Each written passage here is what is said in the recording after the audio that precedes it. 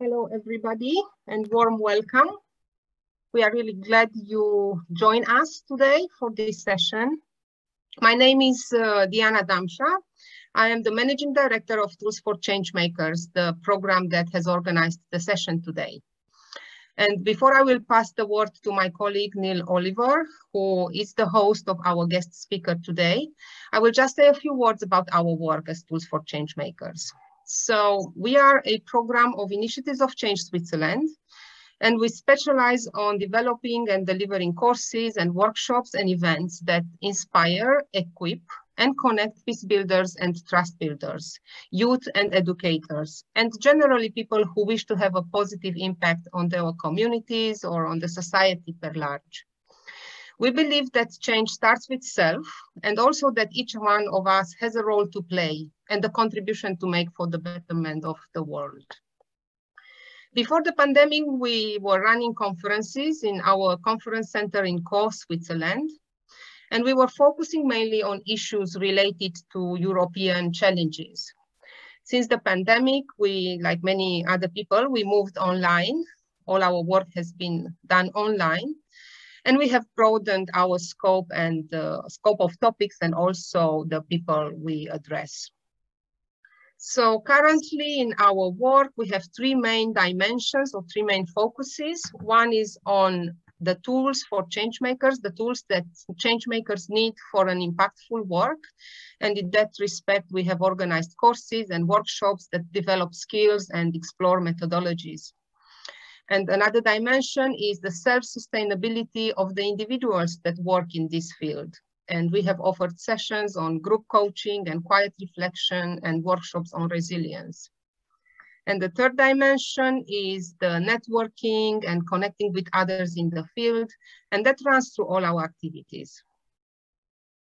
Now, the session today is part of a series of sessions with a similar format on which we invite a guest speaker to share with us their journey and the learning on the way.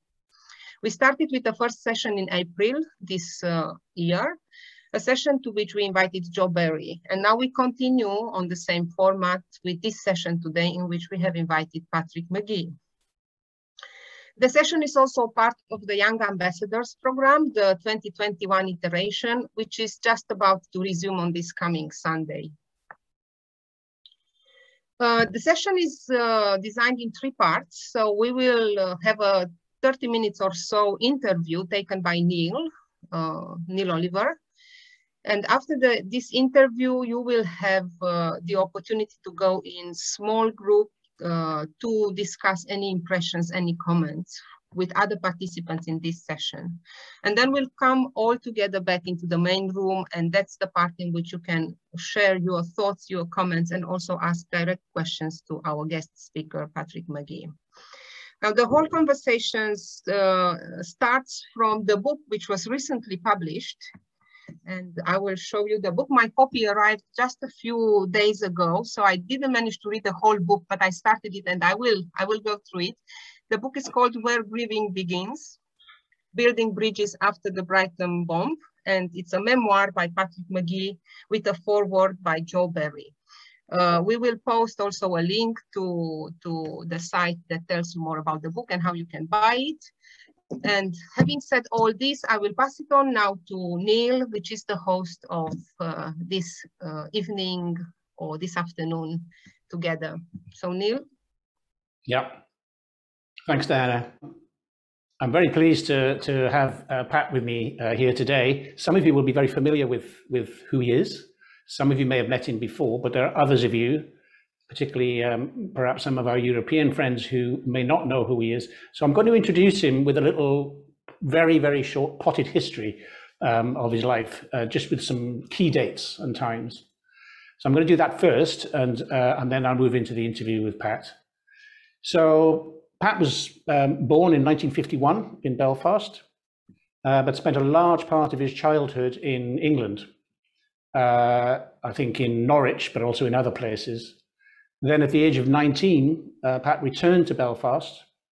And approximately, as far as I can work out, approximately two years later, uh, joined as a volunteer with the Provisional Irish Republican Army, or, or the IRA, as we might know it. So that was in about 1972. Um, so Pat was an active member of the IRA, and that culminated in 1984 in uh, Pat being the man who uh, planted the Brighton bomb in the Grand Hotel in Brighton, who led that um, particular attack, um, and uh, in which five people died. Um, so about a year after that, I think Pat was uh, apprehended and then spent, I think, about 14 or 15 years in prison. 14. 14 years in prison, uh, and was released under the auspices of the Good Friday Agreement, um, I think I checked with Pat just before we started that had he had that not happened, there was a good chance that he'd have, he'd have remained in prison until I think 2035. Uh, so another kind of 14, 15 years from now.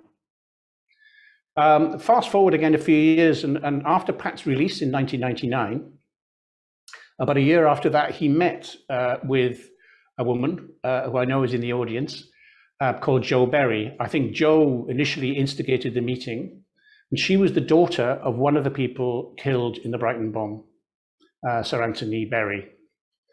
Um, they met. Uh, they met once, and they met again, and they met again, and they met several times, culminating in what is now a 20-year relationship uh, within which both Pat and Jo travel the world really with their story and with their message of, of peace and reconciliation uh, and empathy. Actually, I think that's a big part of what they what they talk about. Um, then, as Diana said, in, in a few months ago, this year, um, Pat's published a book, or the Pluto Press published a book called Where Grieving Begins. And I'll come back to that a bit later on in terms of what's in the book, but also um, the title, actually. I'll come back to that too. So I think I've got most of that in? Yes, so like so far. Okay, great, thank you. So uh, I'll now turn to Pat and we'll, we'll start our interview. Um, something that uh, I think very early on in your book you mentioned is this sort of label that you have as the Brighton bomber, and, and um, many people who are my contemporaries and younger will, it's like a shortcut way of knowing who you are, that you are the Brighton bomber. That's a really, for me, a really kind of powerful label to carry around with you. I think you described it in your book as one of uh, a thought, a, a, a, thought terminating cliche yeah. that sort of gets in the way of actually who you are as a person. Yeah. It's a reduction. yeah. A label. Yeah, totally. I'm wondering what you make of that. What what's that like? What that's like for you, and how that's maybe got in the way of your life mm. since 1984, but also maybe if in any way at all it's had some benefit to you in your work and in your kind of life? Well, it's uh, the title, you know, the, the label. I've had to address that as part of my life. In jail, I was very interested in uh, the way the Republican movement, in, in my view, was misrepresented by the media. And then suddenly I find the, you know, the uh, that's directed at me as a person. And I've got this label, you know, a tag you know, it's written on my forehead nearly, you know, the Brighton bomber. So I think the last 20 years in part has been an effort to address that. You know, that somehow uh, I'm identified with a particular operation, and for many people, that robs them of an understanding of the context mm. of that operation and of what that struggle was about. So uh, uh, the book also deals with that, I yeah. hope. So potentially it, it gets in the way really of people finding out more and also finding as, out more about you. As all labels do, they tend to shut down debate when we should be looking beyond labels. It's a, an oversimplification and it, uh, it gets in the way of really understanding truth and or context. I mean, it may sound like a really strange question, but has it benefited you at all?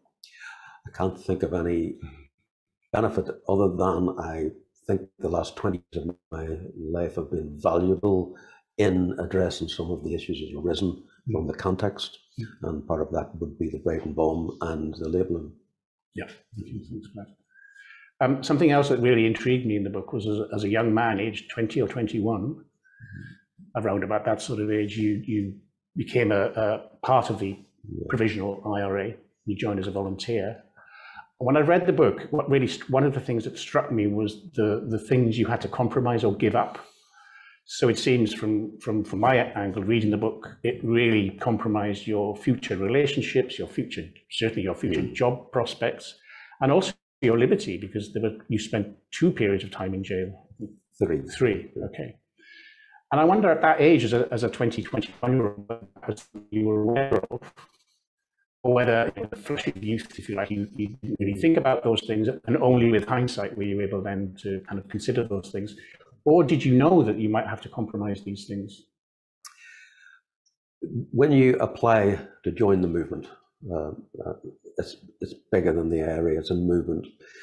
Um, it's drilled into you, you know, um, your participation in this conflict, this struggle is only going to end up in two ways if you survive it, you're going to end up in jail a long time or you're going to end up in a hole in the ground. Mm. And that's spelled out to you. And it's emphasized um, to deter people who might want to get involved for the wrong reasons. You know, you know, as I said, the adrenaline flow, the excitement, uh, people who haven't thought through the consequences. So that uh, you know, drilling that into you was meant to weed out mm. you know, the adventurer type, I suppose. And uh, so I, I did recognize it, but you know, it's, it's also we were young and we were caught up in events, and it, it was a, an exciting time. You know, you were taking on the British state, and it wasn't you as an individual; it was your community, and you wanted to be uh, a part of that struggle, mm. make a contribution at some level. Mm. Okay, thank you. Um, I was thinking too about um, was there anything that sort of precipitated that decision, or was it really just moving into the movement and then feeling you belonged in that movement and stuff, or was there something or a series of things that actually precipitated? No, that? certainly an accumulation of uh, things I've witnessed and became aware of, but overall, um, it was being part of the community where I was living and seeing how they resisted the context of the day, which we identified as uh, the British occupation. Mm. And uh, at some point, uh, after a, I think a lot of soul searching, if I can use that term, uh, I got over fears and decided I couldn't do nothing. I had to do something. Mm. And I wanted to be a part. Although even at that stage, I wasn't sure um, what my part would be and this is important too, how long the conflict might last.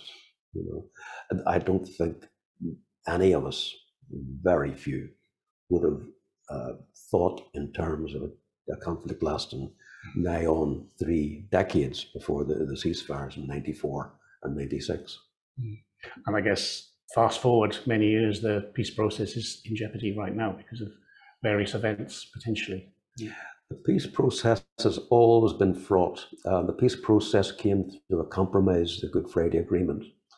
Uh, the decision that we've gained, from a Republican perspective, we've gained sufficient political clout and nous to be able to um, pursue our objectives openly and through constitutional methods.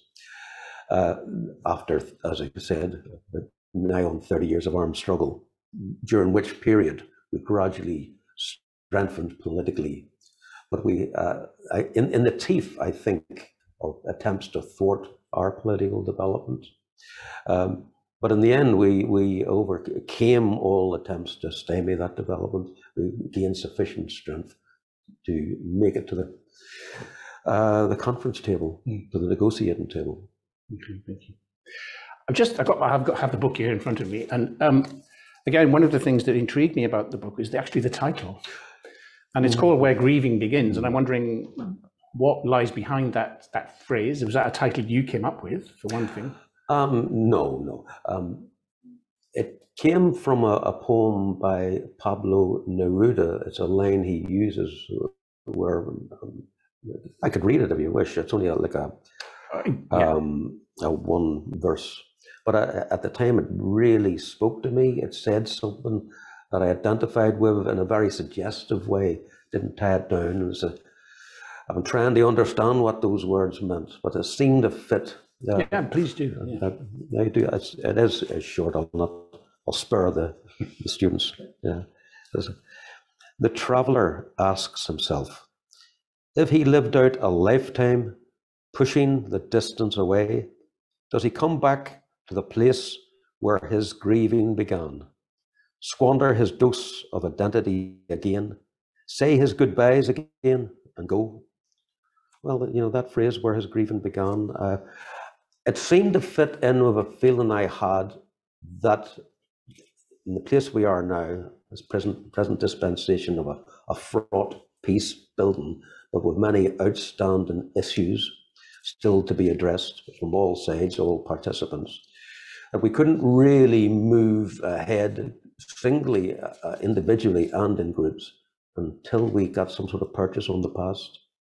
And it's only then that we could come to some sort of, um, not necessarily one way of seeing the past, I don't think that's possible, but that there be appreciation of everyone's narrative. Even only then could we begin to grieve properly mm.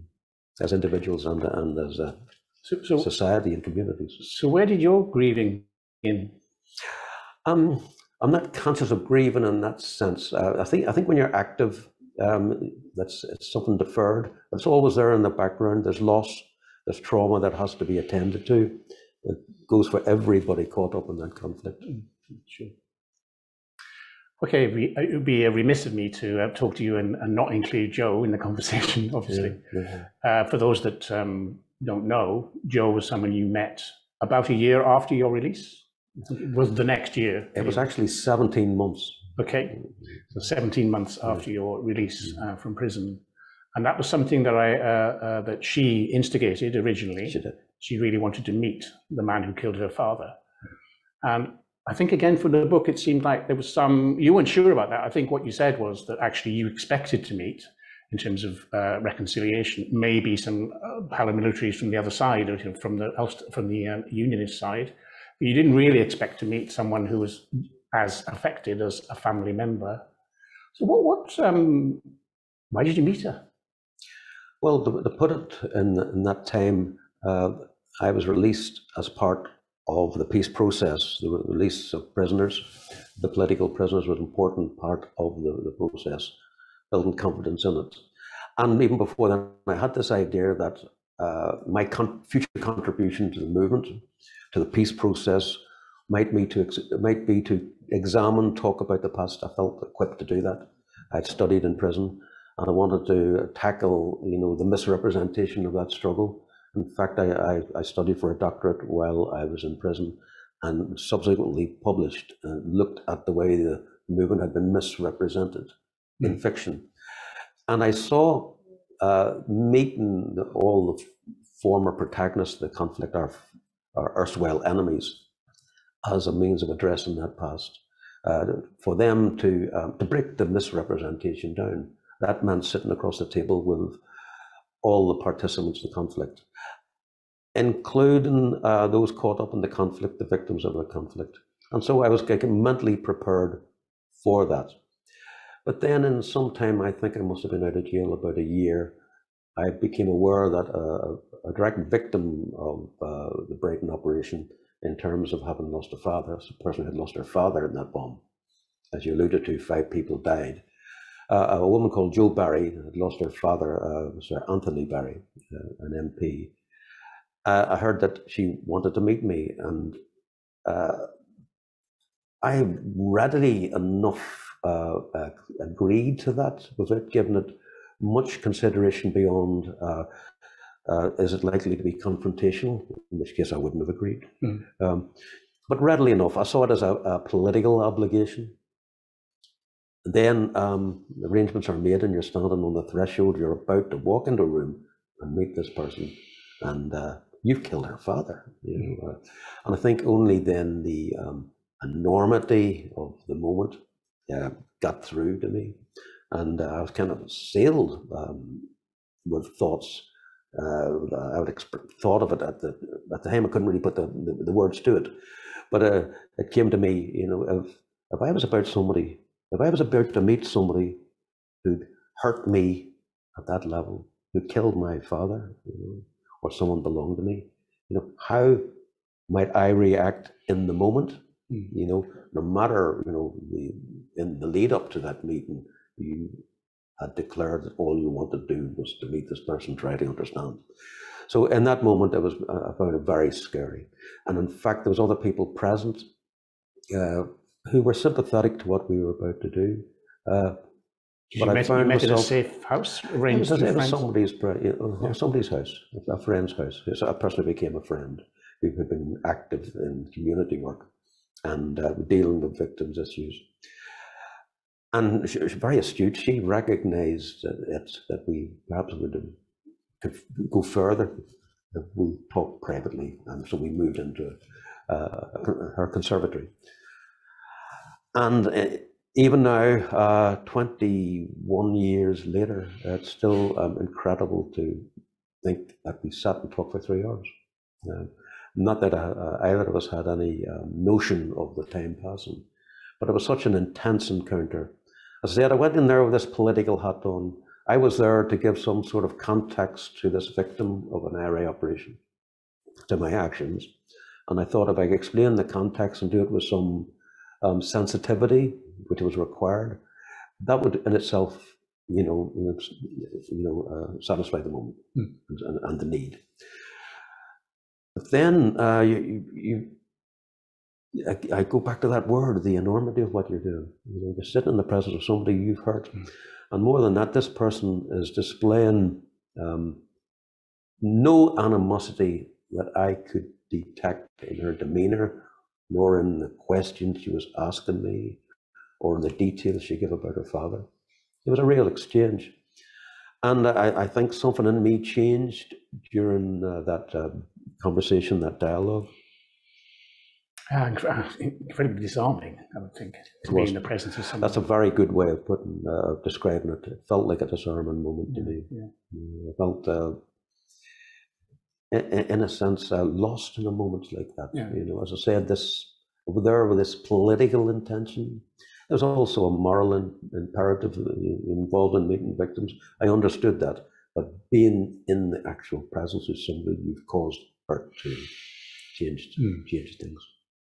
And then you continue to meet, uh, and and at some point, I guess you would have decided that actually we have a message here that the rest of the world might benefit from. And I'm I'm wondering when that happened, and and, and when you decided that this was something that's quite actually bigger than both of us in a way.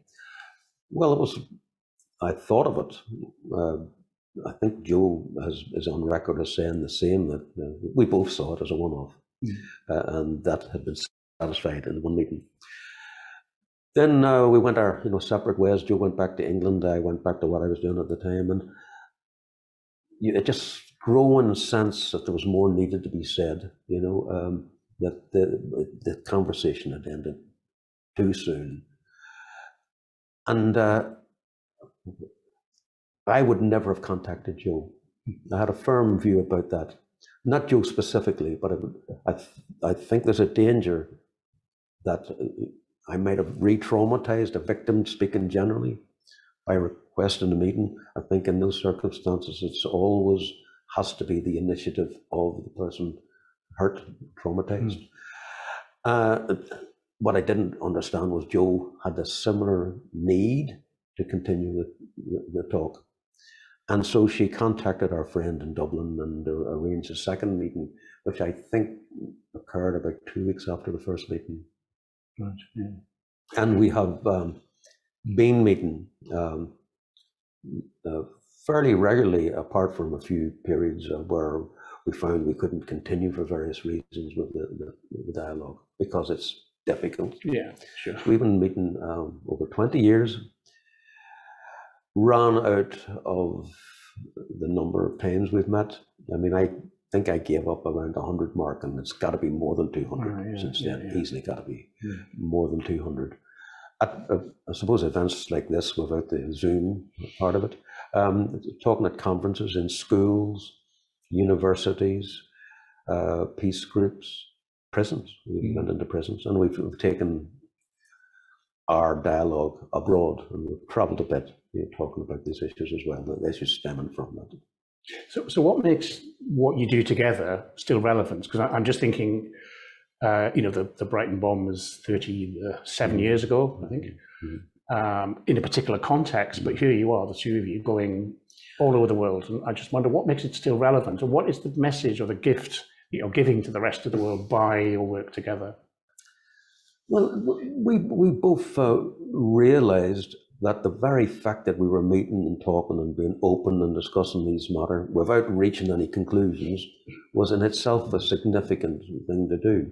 You know, we were demonstrating that um, despite enormous, enormously profound differences, the fact that I killed Jo's father, that we continued to meet and uh, try to, you know, fathom, you know, mm. again, you know, the complexity of that, and and, and hope hoping uh, that at some level it might encourage others to take chances themselves, to take mm. risks, and to meet uh, their um, erstwhile enemies yeah. or people who had hurt them.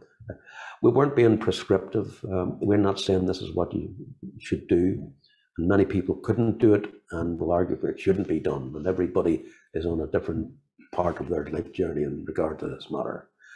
But we, because we felt, uh, you know, that it was such a worthwhile thing to do, um, uh, that it might benefit others. Mm. So we were hoping to act as an exemplar. Right. Yeah, that makes sense. And so, what have, what, do you, what have you learned from Jo in the sense of the person you are now, and yeah, what, what's kind of you know, it's been it's an extraordinary relationship, and I think by any stretch of the imagination or any definition, whoever I talk to about it just find it extraordinary. Yeah, yeah, yeah. What, what have you particularly got from Jo, which do you think has shaped you as, as, who you are now? Well, the first thing I want to say is you mustn't believe uh, that we have answers, that no. we've arrived at some destination where everything's fine. Mm. It isn't like that. Uh, our dialogue is often difficult. It's never, it's rarely easy, rarely easy. Uh, but we, we see the value in it and want to encourage others. I'd say one of the lessons uh, that stems from it uh, is, is just the examination of the past, constant going over events and uh, seeing them from different angles. And even from that very first meeting, you know, I, I learned something that I would have readily um, attributed to the people we were in conflict with. We saw that they marginalized us, demonized us. And I began to see through talking with Jo and listening to her talk about her family and her father particularly, that uh, part of me had also um, been culpable for that. We had, at some level, demonized our enemy. Mm. And uh, uh, if I can talk more about that and how that happened, well, it was Jo describing her father to me um, from that first meeting, but it happens, it's always there. Um, I was gaining this perception of her as a very fine person, very spiritual person, highly intelligent uh, and gifted. And just talking about her father, and I just made a connection. The goodness and value I perceived in this woman must, at some level, have come from this man. Nice. And I'd killed him, you know. And when you break that down, I'd killed a, a fine human being. Now, What's that like to come to that that sort of realization? Well, it's it's it's a epiphanal moment. Yeah. Um, I didn't set out. This is where we talk about context. I didn't set out to kill Jo's father. No.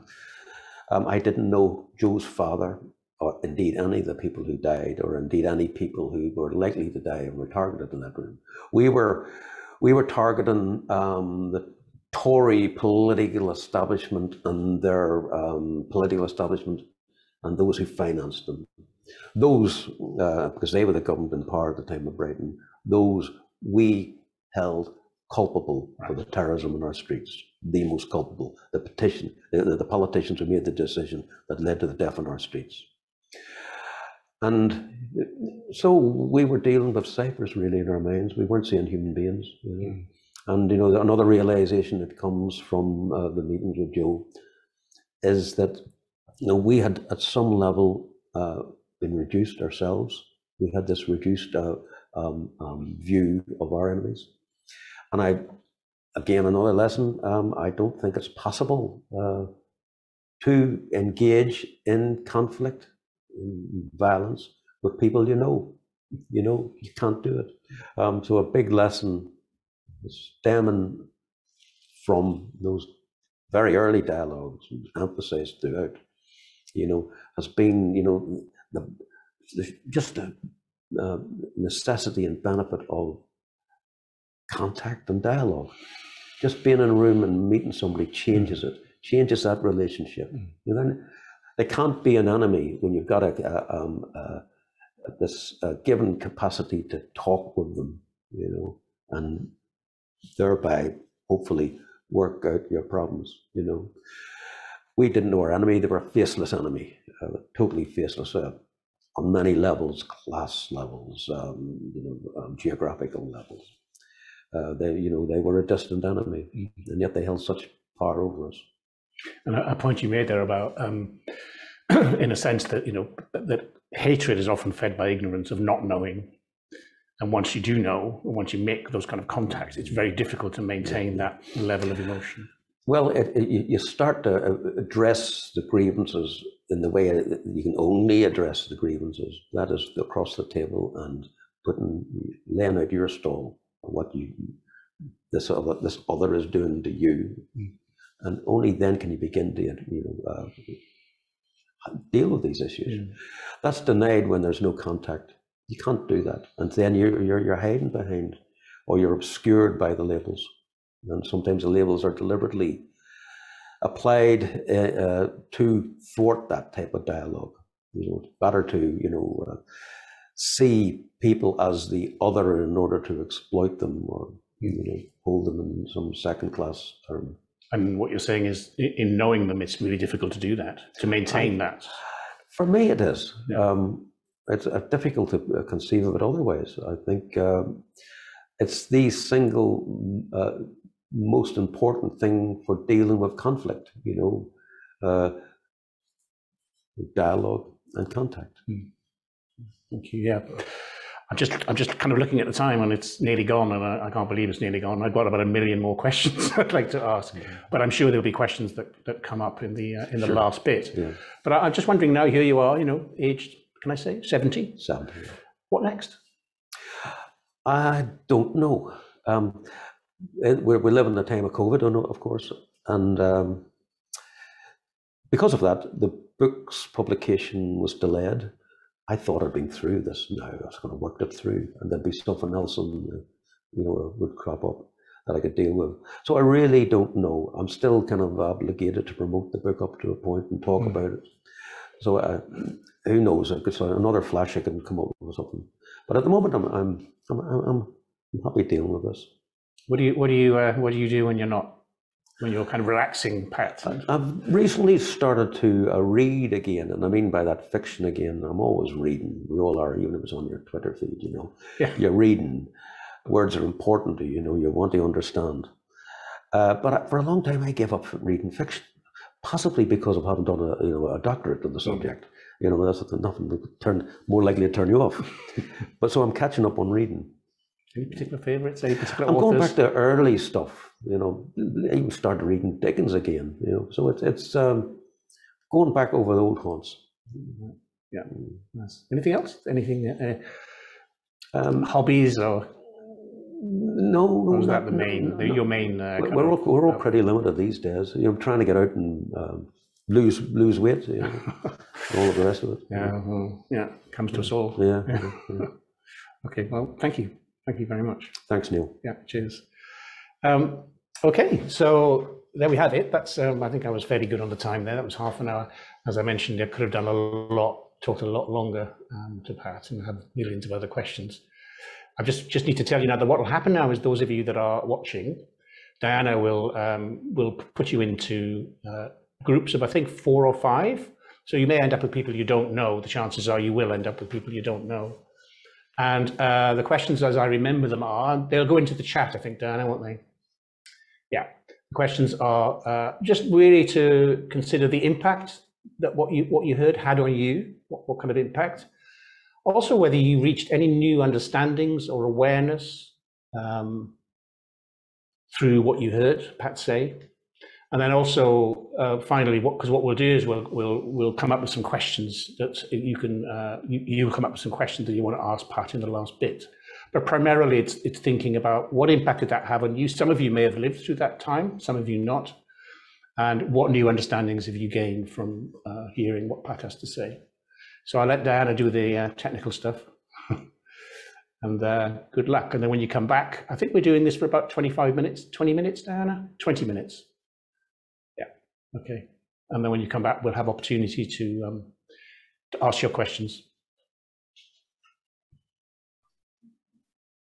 Okay, I think um, I think I'm looking at Diana as well. I think we're ready, Diana, to to move on to the next phase. Yes, please. And start to start um, bringing in some some questions for Pat. So um, if you just do that for us. Yes, we see the hand of Andrew Stallybrass raised. So Andrew, please uh, address your question. Don't forget to unmute. Yes, excellent. Uh, Go ahead. Thank you, thank you very, very much, um, both of you, but particularly Patrick. Um, I met you briefly and heard from you in Caux. Um, my background is uh, my, my, father trained officers for the British Army for uh, 40 years. And in my childhood, I was aiming to join the British Army. And um, in my middle age, I uh, started reading Irish history, and I now have quite a collection of Irish history books. And I've learned so much about your country and um, and about what our country has done in your country. Um, I, I, heard a rumor some time back about Maze Prison being turned into a museum of the Troubles. And I mm. wanted you to address the issue of, yeah, of what, what, how can we tell everybody's story in a way that helps us all to learn more about what the other side feel and have been through? Well, history is weaponized by various interests. We talk now of a culture war, and of a battle of narratives. There's the Republican perspective, there is the British establishment viewpoint, which is really the dominant viewpoint because it's earned and the resources to back it up to get that uh, the story out there. Um, Republicans have had to struggle to be heard, to get their voice heard, and have suffered demonization on account of that. So it's a very uneven playing field coming out of conflict, there's a necessity to break down some of the untruths and misunderstandings and misrepresentations, to provide a space where everybody can be heard, felt heard, and also open to criticism and questioning. Um, you mentioned the maze, uh, the H-blocks, etc.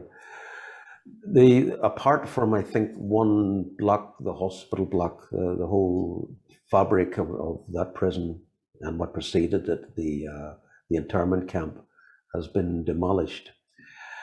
Largely because such a hot potato, particularly within uh, those vested interests like the unionists, many of whom didn't want our story to be heard.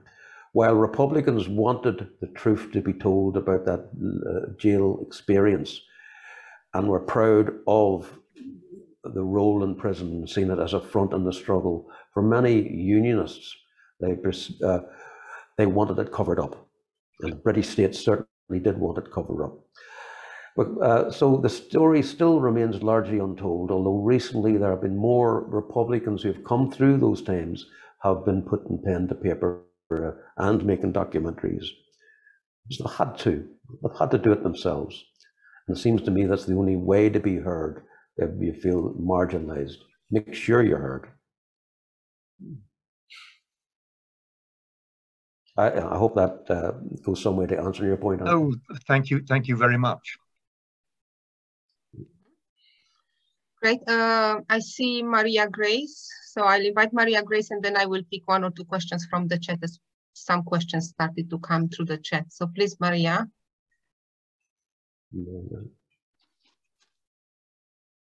Yes, you can go ahead. Okay. Um, thank you, Patrick, for opening yourself up like this to so many people. Uh, I appreciate your cause and the frustration at that time of not being heard. Um, but I, I just wondered, at the time of planting the bomb, did you uh, think about killing innocent people? Did that worry you? Uh, there was consideration given to the likely uh, consequences of the bomb. Um, for example, the bomb was planted at a time we thought civilians would be least likely uh, to be caught up in it. It was meant to go off in the, the, early hours of the morning. We, we would have been aware, I addressed this in the book, uh, we would have been aware that uh, we couldn't guarantee civilians would be killed.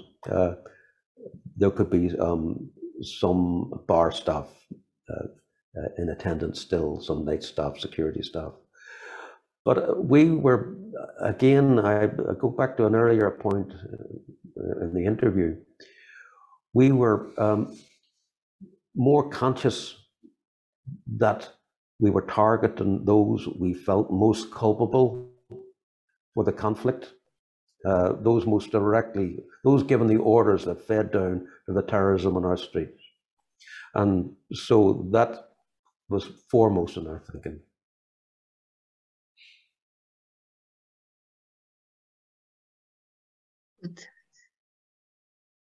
Um, great, uh, Neil. If you have a question, uh, I you can go ahead. Otherwise, I can also read from the chat.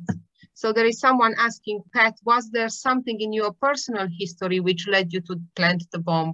So something on your personal history. Some someone asks about that.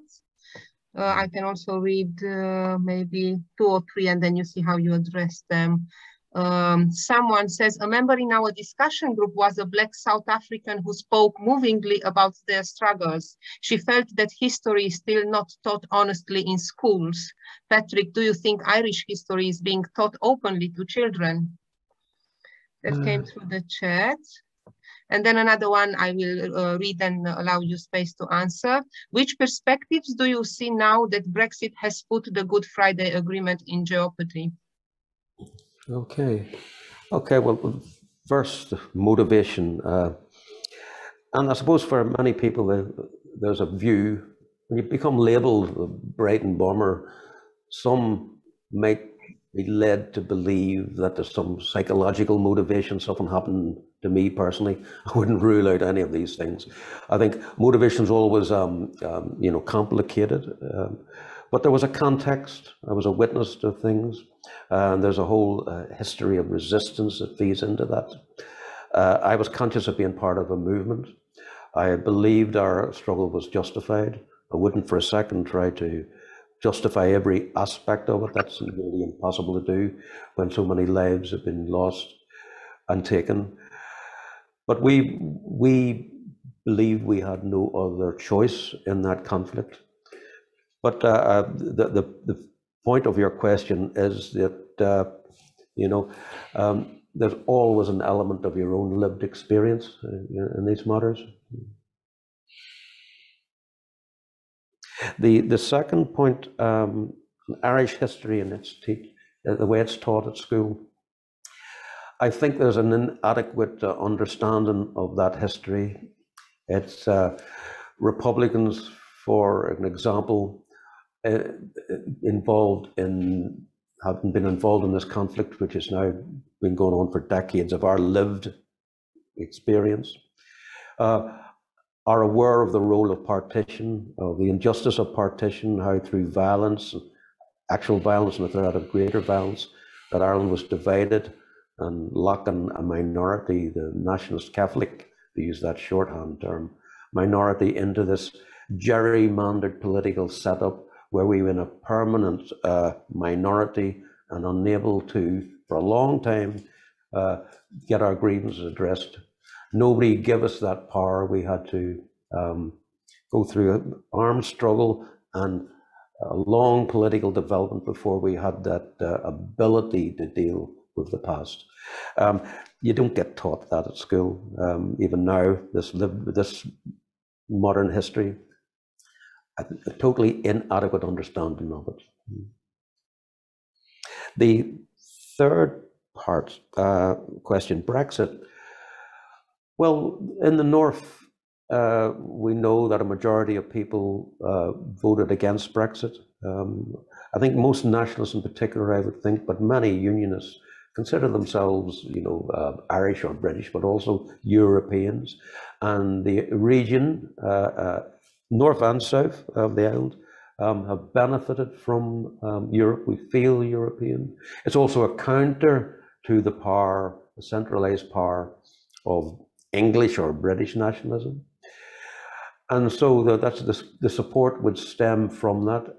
And I think Brexit itself has um, played a role in bringing um, future political progress to bear because of the necessity to deal with the fallout of Brexit.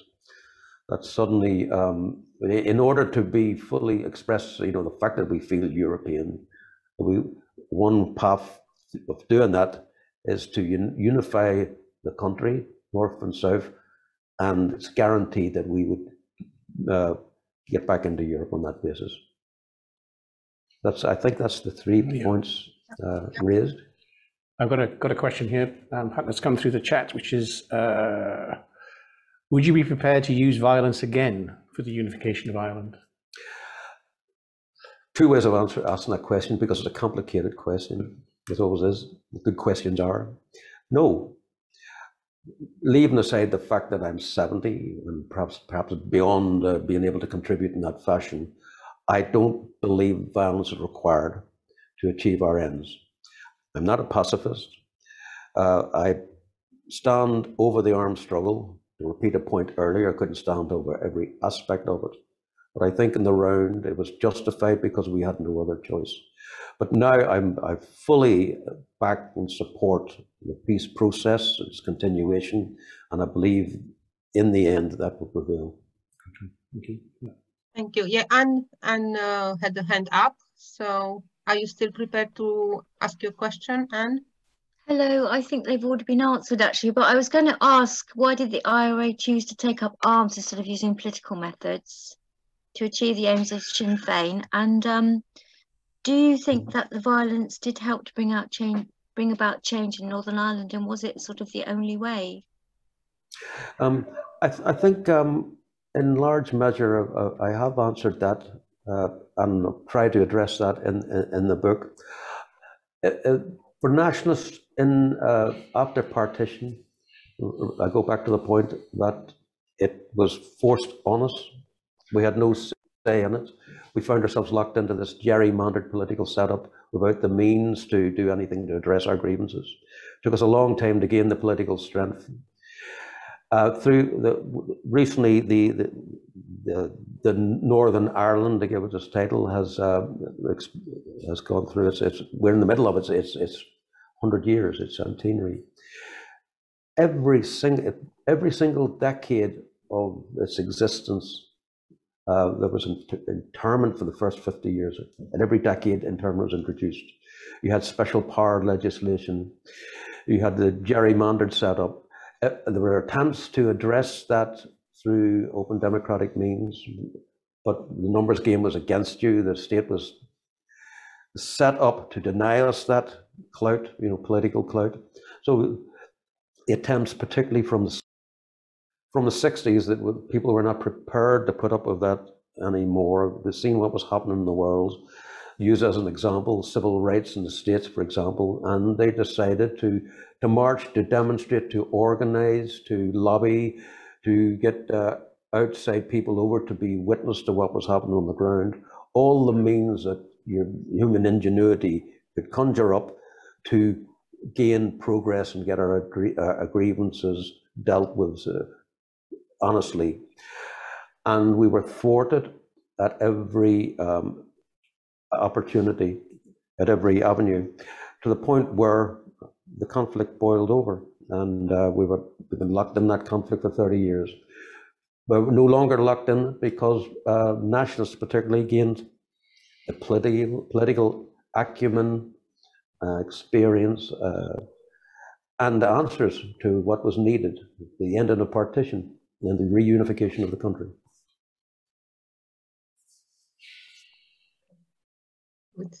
Uh, there are a few more questions here, which I will read.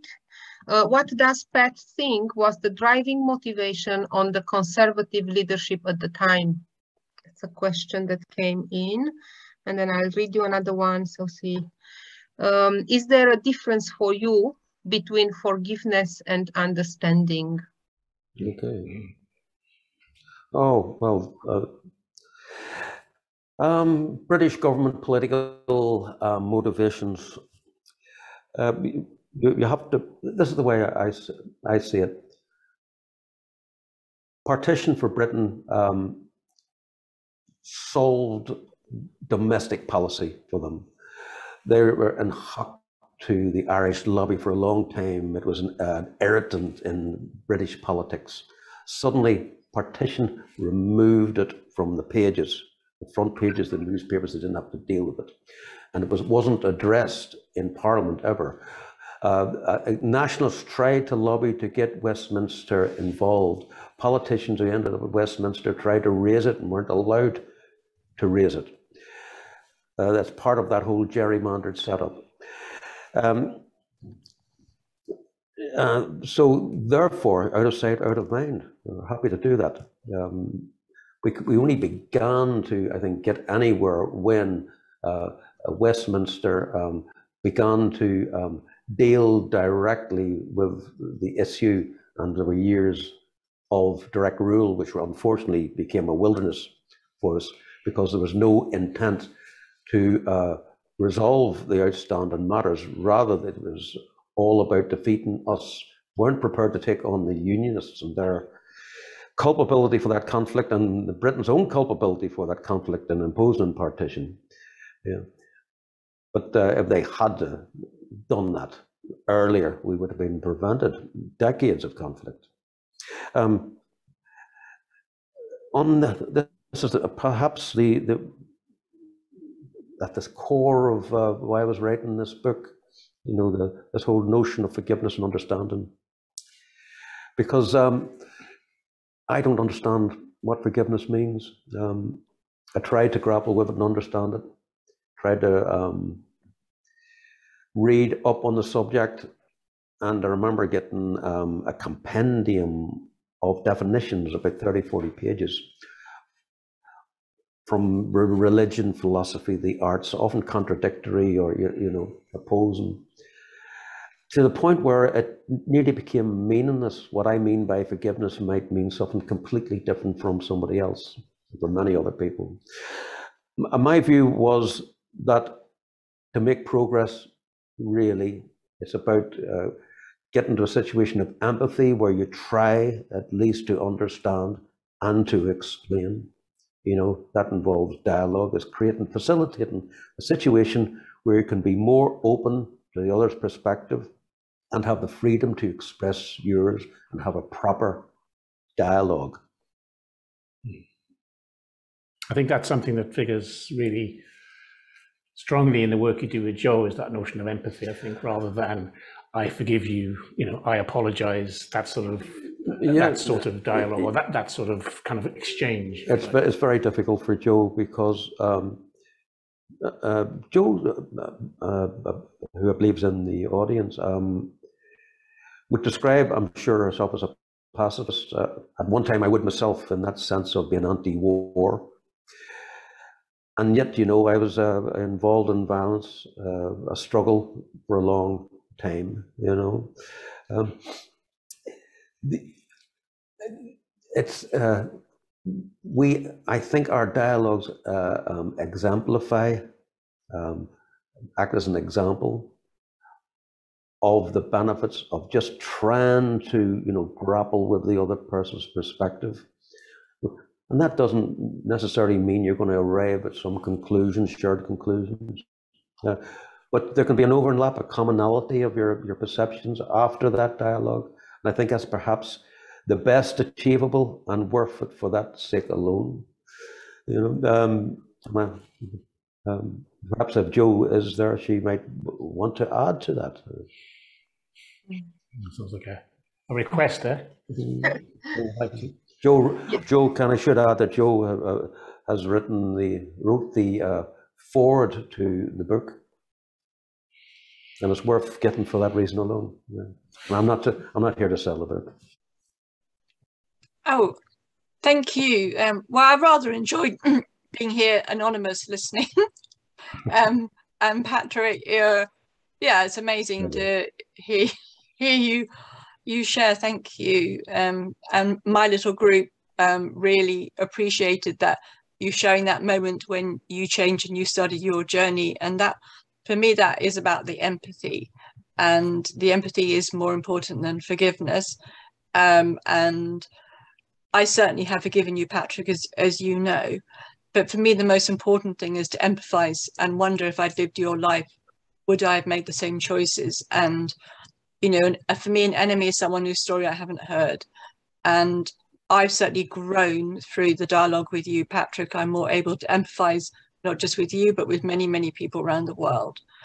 And yes, we've had a hard time, but I know I've gained as a person in terms of my capacity to to love, to connect, to listen, to empathize, to understand the roots of on. So very quick question for you, Patrick, is what do you think, how do you think you changed in terms of like your, your, um, as a, as a person, not politically, but just as a person, like in terms of your capacity to, to understand and empathize?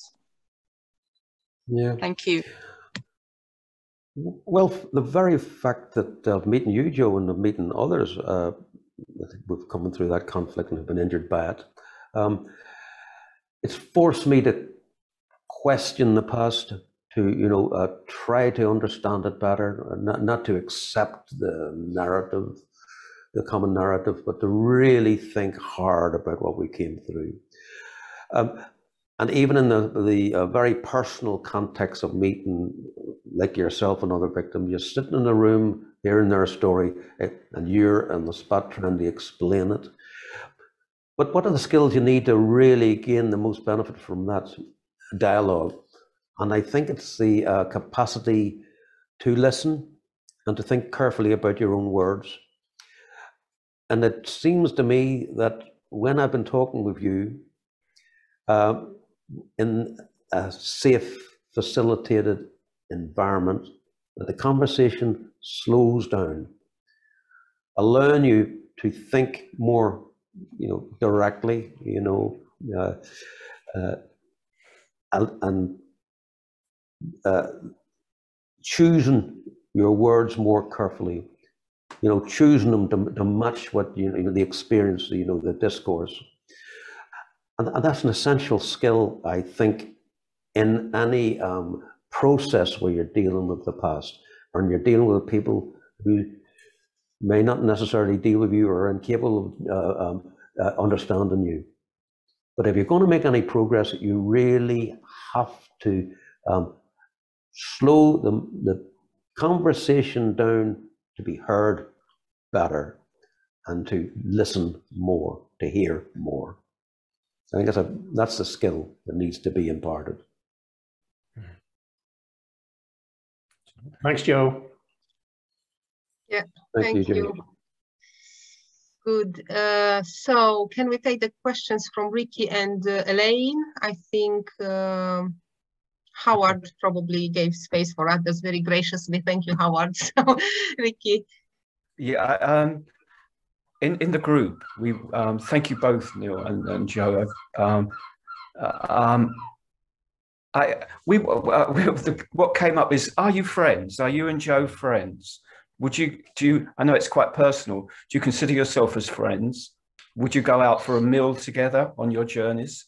Um, do you, do you take time out from from discussing the conflict and just hang out together? Uh, do you have that kind of friendship, or is it um, is it yeah, has has your has your friendship developed? You know, that's really what I'm, we were asking. Uh, uh, Jo, I'm sure we'll have our own answer to that, but I would say it's a, it's a difficult friendship, and yet it's very sincere. Um, or couldn't have lasted uh, 20 years. Remarkably, as I utter those words, uh, we've been we've been in this dialogue for 20 years, meeting at all sorts of different types of venues. But sometimes we do have time. Uh, we, we, more often than not, there'll be a camera present, uh, other people present, the facilitator is present. But frequently we would have a, a, a, chance to talk in preparation for what we're going to say or you know anticipation of the subjects. And so there's been a, a lot of that as well. It's always been useful and essential. Um, but again, I'm, uh, it's very it's very difficult. I remember Jo saying something. You don't go and meet the person who killed your father. You know, uh, you don't. It's something you don't do. It's in the area of taboo. Yeah. And yet we've found some space to allow for it. However fraught uh, the conversation has become at times, and it has. Uh, there have been times when we couldn't continue. You know. So it's a difficult. It's a difficult conversation Friends, you need to come up with another word to, to describe it. I, ho- I hope we are, we are friends. I know we trust each other, or we couldn't have persisted in this conversation. And perhaps that's where the focus should be on. You know, we've managed, despite the past, the loss that I killed her father, we've managed to build up sufficient trust to continue the conversation. And you had lunch together today. We did. That's good. That's good. Thank you for your comments. That was a good question. Thank you. Well, we are actually running out of time, but I know Elaine was waiting for a long time. So can I ask permission for a short one at the end? Yes, to give a chance to Elaine to also ask her question. Can you please unmute? Yes. Sorry, my, just to take no notice, my telephone is ringing. I'm ignoring it. Um, just to say I voted for the Anglo-Irish Agreement. I'm from Cork and I've lived most of my life in Ireland, um, but I'm now in Canada for the last 10 years. And um, what I'd like to, to say that what you have given and having listened all the time in Ireland just to RTE as television, you know, um, I don't think the Irish people have got have been able to hear what you have to say. And Sinn Féin is the largest political party in Ireland now, all of Ireland. You know, so so sorry, there's something at the back, but just to say thank you very much. It's very, it, what you have to say is very much needed uh, for the Republic of Ireland as well. So thank you. I, I didn't think I'd live to hear someone like you talking. So thank you. Well, thank you for that. Um, um, can I just add, I'm, I'm, I'm uh, very proud that my great grandmother's from Cork. So good. well, my my great great grandmother was called Margaret McGee. oh, lovely. That's such an Irish conversation. sorry, thank you. I'm sorry the phone the phone disturbed us. Yeah, thank you. Thank you for, for what you said. Are we finished now, Dan? I think we've run out of time. For I mean, I'm I'm sorry that we have run out of time because I'm sure there's lots more questions. But maybe there's a way of of taking some of these questions in, in some other way and, and feeding them through to you and I'm happy to, yes, you have my do uh, that, that might be really contact good. details. Yeah, yeah. But uh, it just remains for me to thank you. Thank you very much. Thanks, that was, that was um, I was a bit nervous at the beginning, you know, but it just felt, felt like a really uh, good flowing conversation, and I'm really happy that I've done it certainly. And thank you. That's been. Um, I was a bit nervous myself, but uh, oh, yeah. we came through it. We did well. Yeah. Um, so I'm going to hand back to Diana now, really, just to finish off. Uh, and thanks everyone for their questions and comments and, and, and conversations and stuff. Thank you. Yeah. So I'm going to, yes. to hand back to Diana now for the last. Thank you. Two minutes of announcements. A big thank you to everybody who has been involved in this uh, session, make it possible. Uh, many thanks to the presence of, of the audience that we spoke to and interacted with. I hope you find this session insightful. If you want to keep in touch with us, I just posted in the chat the channels on which you can uh, watch, keep an eye on what is coming next for September, Tools for Changemakers um, are putting forward two events. One is a five session course on engaging constructively in challenging conversations. And then another one that we are just launching is Books for Changemakers, which is an online reading club a bi-monthly drop-in book club to resource you and fellow changemakers. So this is what you can do next with us on um, online in September. Big thank you to Adventure who hosted us today, also to Jess who was the cameraman behind there, you could not see him and his organization Beyond Boundaries. Um, thanks to the T4C, Tools for Changemakers team, and not the least to, to Patrick, who has agreed um, and accepted our invitation for the ses session today. Looking forward to seeing you again, not too long. And uh, goodbye for today. It was a pleasure to see you.